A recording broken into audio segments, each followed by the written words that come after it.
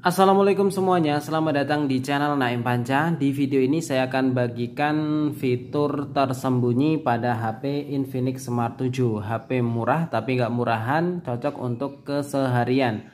Harganya sekitar 1.400-an ribu ya. Kemudian RAM-nya itu 4 GB, untuk internalnya 64 eh. Jadi langsung saja kita awali dari menu pintasan di atas ini. Ada apa saja ya di menu pintasan ini? Emang agak susah untuk menarik menu pintasannya dari atas ke bawah. Di sini sudah tersedia untuk menu perekam layar ya. Jadi kalian tinggal klik saja nanti secara otomatis perekam layarnya sudah ada. Jadi nggak perlu download aplikasi perekam layar. Kalau kita klik icon merah maka akan terekam dan kalau kita klik lagi maka perekamannya sudah selesai.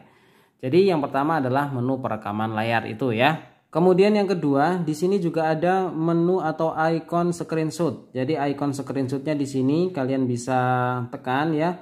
Ada beberapa cara untuk screenshotnya. Yang pertama menggunakan tiga jari ini, kemudian menarik pintasan dari atas ke bawah tadi menggunakan icon screenshotnya. Di sini juga sudah tersedia untuk screenshot panjang ya. Caranya kalian uh, pilih untuk aplikasi yang bisa di scroll kemudian kalian screenshot aja. Selanjutnya kalian gulir dari atas ke bawah. Dan ini ditarik aja ya sampai ke bawah. Kemudian klik selesai. Maka screenshot panjangnya sudah selesai.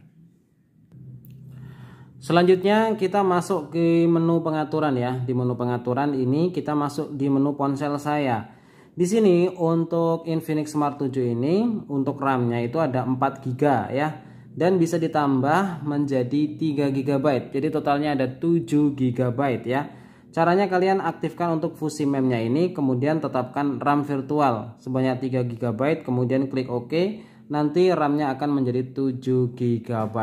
Jadi mungkin itu untuk fitur yang paling dominan atau paling menonjol di HP Infinix Smart 7 ini. Bayangkan aja dengan harga 1.400 bisa mendapatkan RAM sampai 4 GB bahkan sampai 7 GB dengan internal 64 GB. Kemudian di fitur yang keempat, ini ada fitur spesial, ini khas dari HP Infinix ya. Jadi di sini kalian itu bisa menggunakan menu fitur spesial ini untuk bisa mendapatkan fitur pendorong sosial ya. Jadi di fitur pendorong sosial ini ini ada beberapa fitur lagi ya seperti video cantik, rekaman suara, pengubah suara, jadi kemudian pembuat stiker.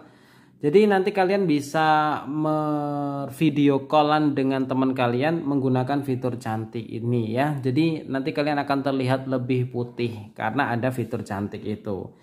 Ini khusus dari HP Infinix ya, karena nggak semua HP mempunyai fitur ini, tapi Infinix rata-rata hampir semuanya ada seperti itu ya. Kemudian untuk fitur yang terakhir ya, ini ada lima fitur saja yang saya pakai ya, yaitu di menu keamanan. Ternyata HP dengan e, harga semurah ini itu sudah mendapatkan keamanan seperti sidik jari dan pemindai wajah ya. Jadi ini terlengkap ya, ada keamanannya sidik jari dan pemindai wajah. Bisa kalian aktifkan di sini ya. Jadi lebih aman lagi uh, untuk pengamanan HP-nya seperti itu. Oke, jadi demikianlah beberapa fitur tersembunyi di HP Infinix Smart 7. Semoga bermanfaat. Assalamualaikum warahmatullahi wabarakatuh.